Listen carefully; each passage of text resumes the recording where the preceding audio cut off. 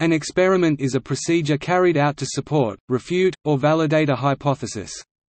Experiments provide insight into cause and effect by demonstrating what outcome occurs when a particular factor is manipulated.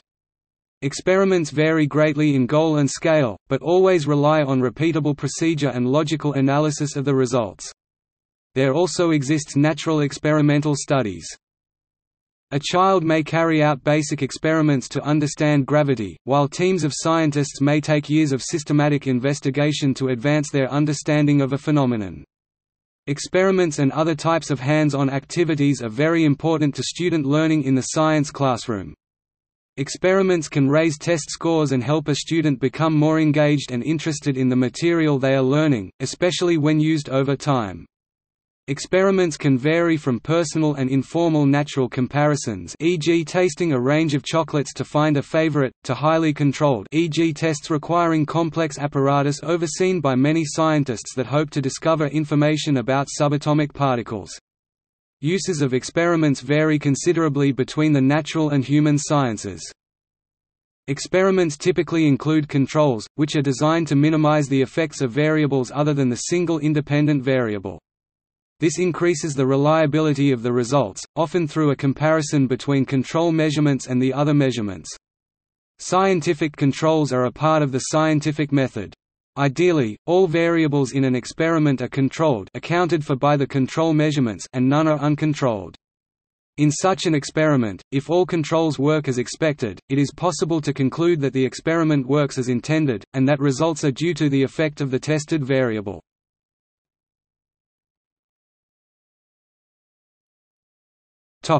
Overview In the scientific method, an experiment is an empirical procedure that arbitrates competing models or hypotheses. Researchers also use experimentation to test existing theories or new hypotheses to support or disprove them. An experiment usually tests a hypothesis, which is an expectation about how a particular process or phenomenon works. However, an experiment may also aim to answer a what if question, without a specific expectation about what the experiment reveals, or to confirm prior results. If an experiment is carefully conducted, the results usually either support or disprove the hypothesis. According to some philosophies of science, an experiment can never prove a hypothesis, it can only add support. On the other hand, an experiment that provides a counterexample can disprove a theory or hypothesis, but a theory can always be salvaged by appropriate ad hoc modifications at the expense of simplicity. An experiment must also control the possible confounding factors—any factors that would mar the accuracy or repeatability of the experiment or the ability to interpret the results. Confounding is commonly eliminated through scientific controls and or, in randomized experiments, through random assignment. In engineering and the physical sciences, experiments are a primary component of the scientific method. They are used to test theories and hypotheses about how physical processes work under particular conditions e.g., whether a particular engineering process can produce a desired chemical compound. Typically, experiments in these fields focus on replication of identical procedures in hopes of producing identical results in each replication. Random assignment is uncommon. In medicine and the social sciences, the prevalence of experimental research varies widely across disciplines. When used, however, experiments typically follow the form of the clinical trial, where experimental units usually individual human beings are randomly assigned to a treatment or control condition where one or more outcomes are assessed. In contrast to norms in the physical sciences, the focus is typically on the average treatment effect the difference in outcomes between the treatment and control groups or another test statistic produced by the experiment. A single study typically does not involve replications of the experiment, but separate studies may be aggregated through systematic review and meta-analysis. There are various differences in experimental practice in each of the branches of science. For example, agricultural research frequently uses randomized experiments e.g., to test the comparative effectiveness of different fertilizers, while experimental economics often involves experimental tests of theorized human behaviors without relying on random assignment of individuals to treatment and control conditions.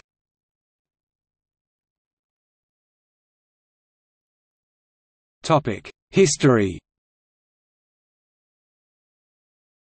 One of the first methodical approaches to experiments in the modern sense is visible in the works of the Arab mathematician and scholar Ibn al-Haytham. He conducted his experiments in the field of optics, going back to optical and mathematical problems in the works of Ptolemy, by controlling his experiments due to factors such as self-criticality, reliance on visible results of the experiments as well as a criticality in terms of earlier results. He counts as one of the first scholars using an inductive experimental method for achieving results. In his book, Optics, he describes the fundamentally new approach to knowledge and research in an experimental sense. We should, that is, recommence the inquiry into its principles and premisses, beginning our investigation with an inspection of the things that exist and a survey of the conditions of visible objects. We should distinguish the properties of particulars, and gather by induction what pertains to the eye when vision takes place and what is found in the manner of sensation to be uniform, unchanging, manifest and not subject to doubt after which we should ascend in our inquiry and reasonings, gradually and orderly, criticizing premisses and exercising caution in regard to conclusions, our aim in all that we make subject to inspection and review being to employ justice, not to follow prejudice, and to take care in all that we judge and criticize that we seek the truth and not to be swayed by opinion. We may in this way eventually come to the truth that gratifies the heart and gradually and carefully reach the end at which certainty appears, while through criticism and caution we may seize the truth that dispels disagreement and resolves doubtful matters. For all that, we are not free from that human turbidity which is in the nature of man, but we must do our best with what we possess of human power. From God we derive support in all things. According to his explanation, a strictly controlled test execution with a sensibility for the subjectivity and susceptibility of outcomes due to the nature of man is necessary. Furthermore, a critical view on the results and outcomes of earlier scholars is necessary. It is thus the duty of the man who studies the writings of scientists, if learning the truth is his goal, to make himself an enemy of all that he reads, and, applying his mind to the core and margins of its content, attack it from every side. He should also suspect himself as he performs his critical examination of it, so that he may avoid falling into either prejudice or leniency. Thus, a comparison of earlier results with the experimental results is necessary for an objective experiment, the visible results being more important. In the end, this may mean that an experimental researcher must find enough courage to discard traditional opinions or results, especially if these results are not experimental but results from a logical, mental derivation. In this process of critical consideration, the man himself should not forget that he tends to subjective opinions, through prejudices and leniency, and thus has to be critical about his own way of building hypotheses. Francis Bacon (1561–1626), an English philosopher and scientist active in the 17th century, became an influential supporter of experimental science in the English Renaissance. He disagreed with the method of answering scientific questions by deduction, similar to Ibn al-Haytham, and described it as follows, having first determined the question according to his will, man then resorts to experience, and bending her to conformity with his placets, leads her about like a captive in a procession. Bacon wanted a method that relied on repeatable observations, or experiments. Notably, he first ordered the scientific method as we understand it today. There remains simple experience, which, if taken as it comes, is called accident, if sought for, experiment.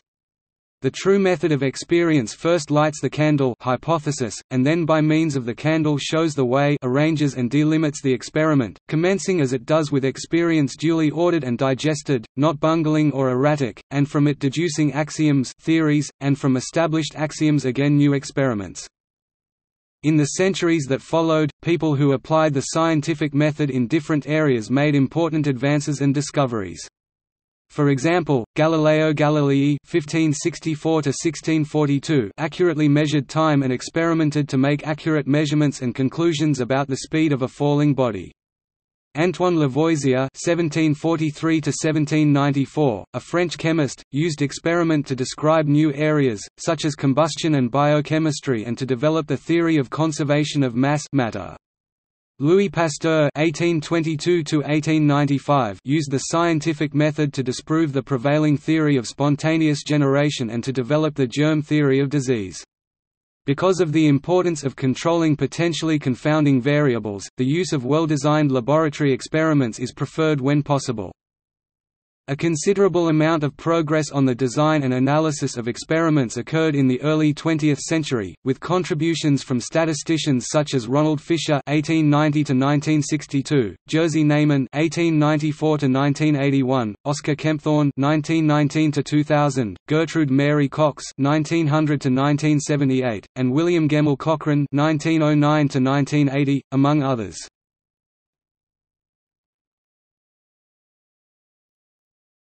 Topic: Types of experiment. Experiments might be categorized according to a number of dimensions, depending upon professional norms and standards in different fields of study. In some disciplines e.g., psychology or political science, a true experiment is a method of social research in which there are two kinds of variables. The independent variable is manipulated by the experimenter, and the dependent variable is measured. The signifying characteristic of a true experiment is that it randomly allocates the subjects to neutralize experimenter bias, and ensures, over a large number of iterations of the experiment, that it controls for all confounding factors.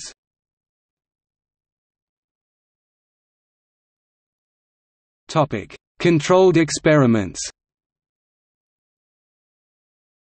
A controlled experiment often compares the results obtained from experimental samples against control samples, which are practically identical to the experimental sample except for the one aspect whose effect is being tested the independent variable. A good example would be a drug trial. The sample or group receiving the drug would be the experimental group, treatment group and the one receiving the placebo or regular treatment would be the control one. In many laboratory experiments it is good practice to have several replicate samples for the test being performed and have both a positive control and a negative control. The results from replicate samples can often be averaged, or if one of the replicates is obviously inconsistent with the results from the other samples, it can be discarded as being the result of an experimental error some step of the test procedure may have been mistakenly omitted for that sample. Most often, tests are done in duplicate or triplicate. A positive control is a procedure similar to the actual experimental test but is known from previous experience to give a positive result. A negative control is known to give a negative result. The positive control confirms that the basic conditions of the experiment were able to produce a positive result, even if none of the actual experimental samples produce a positive result. The negative control demonstrates the baseline result obtained when a test does not produce a measurable positive result. Most often the value of the negative control is treated as a «background» value to subtract from the test sample results. Sometimes the positive control takes the quadrant of a standard curve. An example that is often used in teaching laboratories is a controlled protein assay. Students might be given a fluid sample containing an unknown to the student amount of protein. It is their job to correctly perform a controlled experiment in which they determine the concentration of protein in the fluid sample usually called the unknown sample. The teaching lab would be equipped with a protein standard solution with a known protein concentration. Students could make several positive control samples containing various dilutions of the protein standard. Negative control samples would contain all of the reagents for the protein assay but no protein. In this example, all samples are performed in duplicate. The assay is a colorimetric assay in which a spectrophotometer can measure the amount of protein in samples by detecting a colored complex formed by the interaction of protein molecules and molecules of an added dye. In the illustration, the results for the diluted test samples can be compared to the results of the standard curve the blue line in the illustration to estimate the amount of protein in the unknown sample. Controlled experiments can be performed when it is difficult to exactly control all the conditions in an experiment. In this case, the experiment begins by creating two or more sample groups that are probabilistically equivalent, which means that measurements of traits should be similar among the groups and that the groups should respond in the same manner if given the same treatment. This equivalency is determined by statistical methods that take into account the amount of variation between individuals and the number of individuals in each group. In fields such as microbiology and chemistry, where there is very little variation between individuals and the group size is easily in the millions, these statistical methods are often bypassed and simply splitting a solution into equal parts is assumed to produce identical sample groups. Once equivalent groups have been formed, the experimenter tries to treat them identically except for the one variable that he or she wishes to isolate. Human experimentation requires special safeguards against outside variables such as the placebo effect. Such experiments are generally double-blind, meaning that neither the volunteer nor the researcher knows which individuals are in the control group or the experimental group until after all of the data have been collected. This ensures that any effects on the volunteer are due to the treatment itself and are not a response to the knowledge that he is being treated. In human experiments, researchers may give a subject person a stimulus that the subject responds to. The goal of the experiment is to measure the response to the stimulus by a test method. In the design of experiments, two or more treatments are applied to estimate the difference between the mean responses for the treatments. For example, an experiment on baking bread could estimate the difference in the responses associated with quantitative variables, such as the ratio of water to flour, and with qualitative variables, such as strains of yeast. Experimentation is the step in the scientific method that helps people decide between two or more competing explanations, or hypotheses. These hypotheses suggest reasons to explain a phenomenon, or predict the results of an action. An example might be the hypothesis that, "...if I release this ball, it will fall to the floor." This suggestion can then be tested by carrying out the experiment of letting go of the ball, and observing the results. Formally, a hypothesis is compared against its opposite or null hypothesis. If I release this ball, it will not fall to the floor. The null hypothesis is that there is no explanation or predictive power of the phenomenon through the reasoning that is being investigated.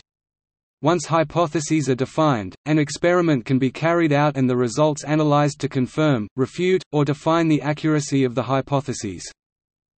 Experiments can be also designed to estimate spillover effects onto nearby untreated units.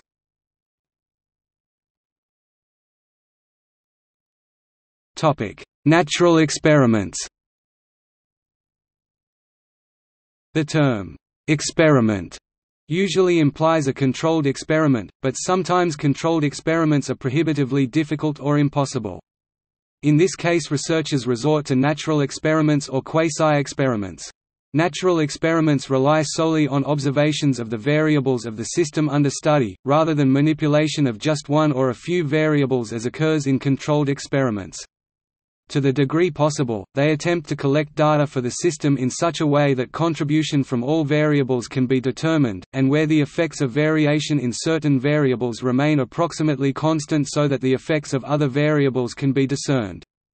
The degree to which this is possible depends on the observed correlation between explanatory variables in the observed data. When these variables are not well correlated, natural experiments can approach the power of controlled experiments. Usually, however, there is some correlation between these variables, which reduces the reliability of natural experiments relative to what could be concluded if a controlled experiment were performed. Also, because natural experiments usually take place in uncontrolled environments, variables from undetected sources are neither measured nor held constant, and these may produce illusory correlations in variables under study.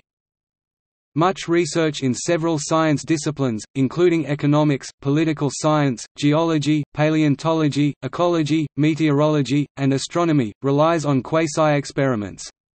For example, in astronomy it is clearly impossible, when testing the hypothesis, "...stars are collapsed clouds of hydrogen", to start out with a giant cloud of hydrogen, and then perform the experiment of waiting a few billion years for it to form a star.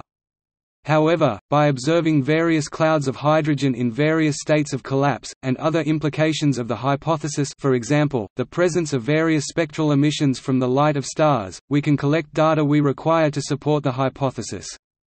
An early example of this type of experiment was the first verification in the 17th century that light does not travel from place to place instantaneously, but instead has a measurable speed. Observation of the appearance of the moons of Jupiter was slightly delayed when Jupiter was farther from Earth, as opposed to when Jupiter was closer to Earth, and this phenomenon was used to demonstrate that the difference in the time of appearance of the moons was consistent with a measurable speed.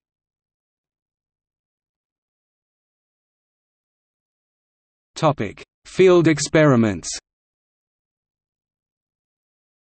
Field experiments are so named to distinguish them from laboratory experiments, which enforce scientific control by testing a hypothesis in the artificial and highly controlled setting of a laboratory. Often used in the social sciences, and especially in economic analyses of education and health interventions, field experiments have the advantage that outcomes are observed in a natural setting rather than in a contrived laboratory environment. For this reason, field experiments are sometimes seen as having higher external validity than laboratory experiments. However, like natural experiments, field experiments suffer from the possibility of contamination. Experimental conditions can be controlled with more precision and certainty in the lab. Yet some phenomena e.g., voter turnout in an election cannot be easily studied in a laboratory.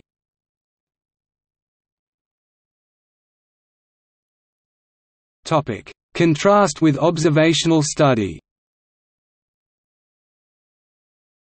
An observational study is used when it is impractical, unethical, cost-prohibitive or otherwise inefficient to fit a physical or social system into a laboratory setting, to completely control confounding factors, or to apply random assignment. It can also be used when confounding factors are either limited or known well enough to analyze the data in light of them though this may be rare when social phenomena are under examination. For an observational science to be valid, the experimenter must know and account for confounding factors. In these situations, observational studies have value because they often suggest hypotheses that can be tested with randomized experiments or by collecting fresh data. Fundamentally, however, observational studies are not experiments. By definition, observational studies lack the manipulation required for Baconian experiments. In addition, observational studies e.g., in biological or social systems often involve variables that are difficult to quantify or control. Observational studies are limited because they lack the statistical properties of randomized experiments. In a randomized experiment, the method of randomization specified in the experimental protocol guides the statistical analysis, which is usually specified also by the experimental protocol. Without a statistical model that reflects an objective randomization, the statistical analysis relies on a subjective model. Inferences from subjective models are unreliable in theory and practice. In fact, there are several cases where carefully conducted observational studies consistently give wrong results, that is, where the results of the observational studies are inconsistent and also differ from the results of experiments. For example, epidemiological studies of colon cancer consistently show beneficial correlations with broccoli consumption, while experiments find no benefit. A particular problem with observational studies involving human subjects is the great difficulty attaining fair comparisons between treatments or exposures, because such studies are prone to selection bias, and groups receiving different treatments exposures may differ greatly according to their covariates age, height, weight, medications, exercise, nutritional status, ethnicity, family medical history, etc. In contrast, randomization implies that for each covariate, the mean for each group is expected to be the same. For any randomized trial, some variation from the mean is expected, of course, but the randomization ensures that the experimental groups have mean values that are close, due to the central limit theorem and Markov's inequality. With inadequate randomization or low sample size, the systematic variation in covariates between the treatment groups or exposure groups makes it difficult to separate the effect of the treatment exposure from the effects of the other covariates, most of which have not been measured. The mathematical models used to analyze such data must consider each differing covariate if measured, and results are not meaningful if a covariate is neither randomized nor included in the model. To avoid conditions that render an experiment far less useful, physicians conducting medical trials, say for U.S. Food and Drug Administration approval, quantify and randomize the covariates that can be identified. Researchers attempt to reduce the biases of observational studies with complicated statistical methods such as propensity score matching methods, which require large populations of subjects and extensive information on covariates. Outcomes are also quantified when possible bone density, the amount of some cell or substance in the blood, physical strength or endurance, etc. and not based on a subject's or a professional observer's opinion. In this way, the design of an observational study can render the results more objective and therefore, more convincing.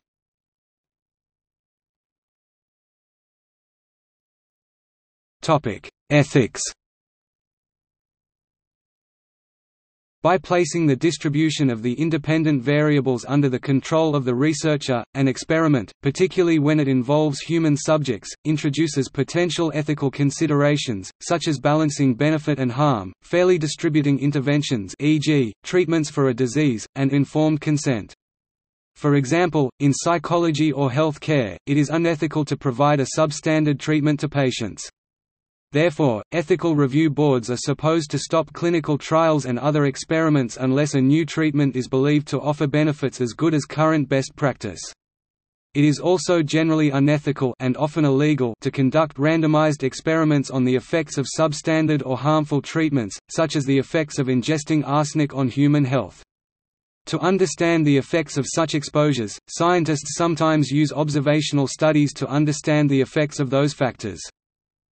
Even when experimental research does not directly involve human subjects, it may still present ethical concerns. For example, the nuclear bomb experiments conducted by the Manhattan Project implied the use of nuclear reactions to harm human beings even though the experiments did not directly involve any human subjects.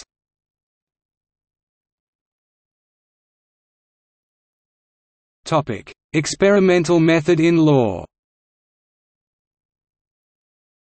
The experimental method can be useful in solving juridical problems.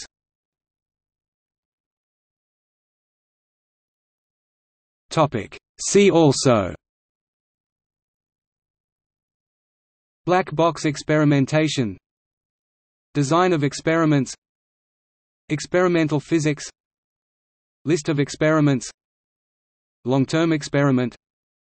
Concept development and experimentation Allegiance bias. Experimentum crucis. Topic. Notes.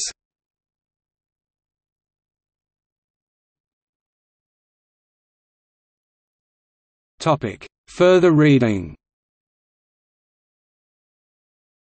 Dunning, Thad 2012. Natural Experiments in the Social Sciences, a Design-Based Approach. Cambridge, Cambridge University Press. ISBN 978-1107698000. Shadish, William R., Cook, Thomas D., Campbell, Donald T. 2002. Experimental and Quasi-Experimental Designs for Generalized Causal Inference NACDR, ed. Boston, Houghton Mifflin. ISBN 0-395-61556-9. Excerpts Jeremy, Teigen 2014. Experimental Methods in Military and Veteran Studies. In Soeters, Joseph, Shields, Patricia, Rietjens, Sebastiaan eds. Routledge Handbook of Research Methods in Military Studies. New York, Routledge. pp. 228–238.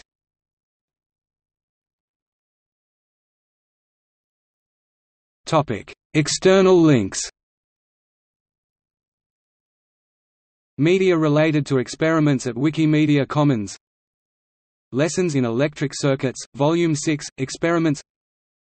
Experiment in Physics from Stanford Encyclopedia of Philosophy